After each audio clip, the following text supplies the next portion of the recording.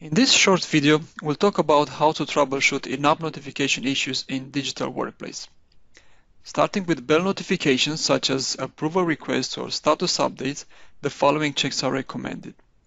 Check if the social port is present and the right protocol is used based on your setup, HTTP or HTTPS, on both configuration files server.xml from Tomcat conf folder and connect DWP properties from Tomcat external conf folder.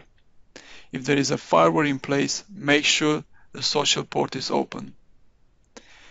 If you are running on a server group environment, you need to check if the master.server parameter is correctly configured in here. So make sure this is set to true only on the primary server and to false on all the other servers from the group.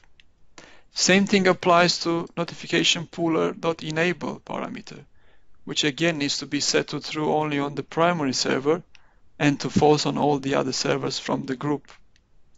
If you perform any changes to these configuration files, you'll have to restart the DWP Tomcat in order for the changes to take effect. For survey notifications, such as SRM satisfaction survey, you need to follow the steps documented on docs.bmc.com on how to set up a one single question survey for SRDs and how to enable it from DWP. In case you are having issues in receiving the survey notifications via email or in-app, you need to check if the SMTP is correctly configured in connectdwp.properties file. So make sure the host name, the port, account and password are correct configured in here.